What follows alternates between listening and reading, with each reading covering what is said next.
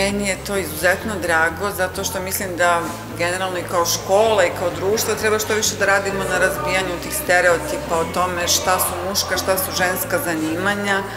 i da jednostavno ne prihvatamo ta ograničenja koje nam ponekad sredina nameće e, da